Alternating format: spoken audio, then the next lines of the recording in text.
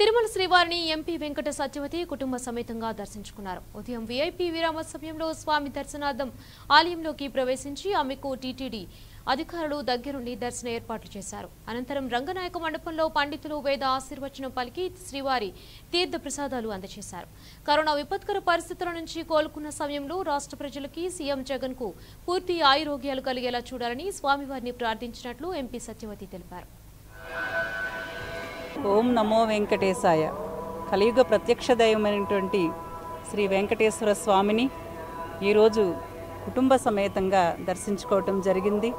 మరి కరోనా లాంటి విపత్కర పరిస్థితుల నుండి మరి ఇప్పుడిప్పుడే మరి రాష్ట్రం అంతా కూడా మరి కోలుకుంటున్న టైంలో స్వామివారికి మరి హృదయపూర్వకంగా నమస్కారములు తెలియజేసుకొని రాష్ట్రం మన ప్రియతమ ముఖ్యమంత్రి గారు వైఎస్ జగన్మోహన్ రెడ్డి గారు అందరూ కూడా సుభిక్షంగా ఉండాలని ఆయుర ఆరోగ్యాలతో ఐశ్వర్యంతో ఆంధ్ర రాష్ట్ర ప్రజలందరూ కూడా వెలసిల్లాలని చెప్పి స్వామివారిని దర్శించుకుని ఈరోజు స్వామివారి కృపా కటాక్ష వీక్షణాల కోసం తిరుమలగిరిలకు రావటం జరిగింది.